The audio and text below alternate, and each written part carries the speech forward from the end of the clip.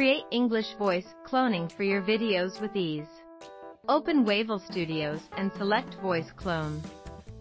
Upload at least 10 seconds of voice sample and select English as the clone language. Wait a few seconds. Play the clone voice. If not satisfied, click on Regenerate Voice.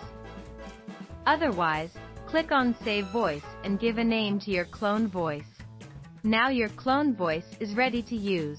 Thousands of migrants have set off on foot from southern Mexico in an effort to reach the United States border.